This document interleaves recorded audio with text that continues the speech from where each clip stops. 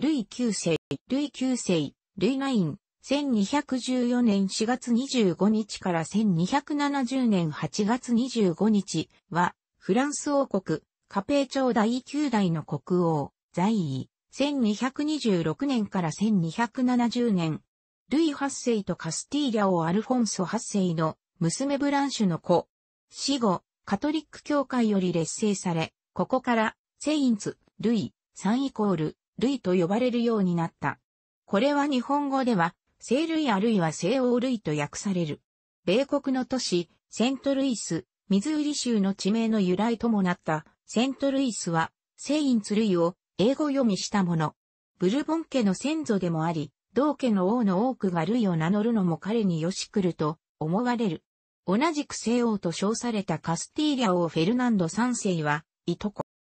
内政に力を入れ長期の平和を保ったため、彼の知性の間、フランス王国は繁栄した。国内外を問わず、争いを収めるよう努力したためヨーロッパの調停者と呼ばれ、高潔で敬虔な人格から理想のキリスト教王と評価されている。ただ、宗教的情熱から2回の十字軍を行ったが、莫大な費用を費やし、自身も捕虜となるなど散々な負け戦を喫し、失敗に終わっている。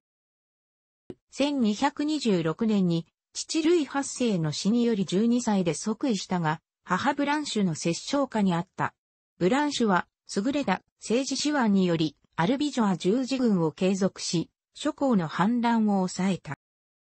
もともとフランスの諸侯は独立性が強く、祖父フィリップ2世と父の時に抑えられていたが、ヨー君の下で反抗、陰謀、反乱などがしばしば起こった。1228年の諸侯の反乱では、一時、ルイ9世が捕らえられる危機にあったが、都市、コミューンの市民の支援を受け、これを恐れた反乱諸侯は撤退した。1230年に、ブローニュ伯、サインイコール、ポル伯などが、ブランシュと親しかったシャンパーニュ伯地方4世を攻撃したが、この朝廷に成功している。1235年には地方4世が申請を始めたルイ9世と対立し、反乱を起こしたが、これを鎮圧している。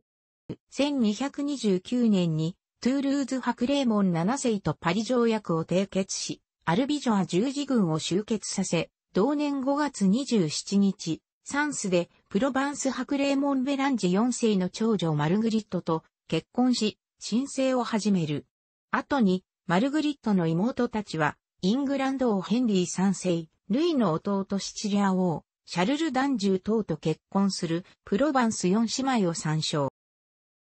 ポワチエノラ・マルシェ伯ユーグ10世ドリュジニアンは、父ユーグ9世の元婚約者で、イングランド王ジョンの未亡人だったイザベル・ダングレームと再婚していた。イザベラは、イングランド王ヘンリー3世の母であり、イングランドでは王太后扱いを受けていた。しかし、ルイ9世の弟ポワチエ伯兼、トゥールーズ伯アルフォンスへの臣従の誓いの際に単なる臣下の妻として扱われたため、これを侮辱だと激怒し、夫と息子ヘンリー3世を扇動して、1241年にポワチエで反乱を起こさせた。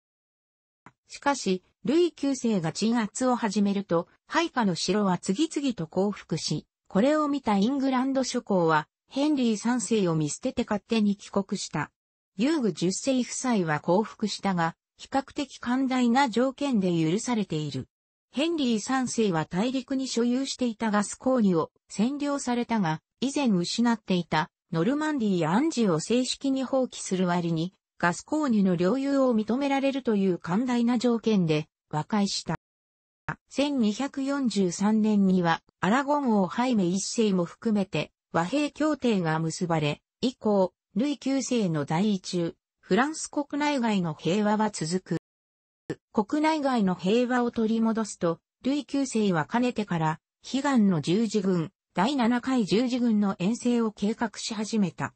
1244年にエルサレムは再び、イスラム教勢力により陥落していたが、神聖ローマ皇帝フリードリヒ2世は、ローマ教皇インノケンテウス4世と対立しており、イングランド王ヘンリー3世は、国内の反乱の対処で忙しく、西欧で十字軍に行ける余裕があるのは、ルイ9世だだった。第一義四校会議で十字軍遠征が検討されたが、ルイ9世もこの会議に参加している。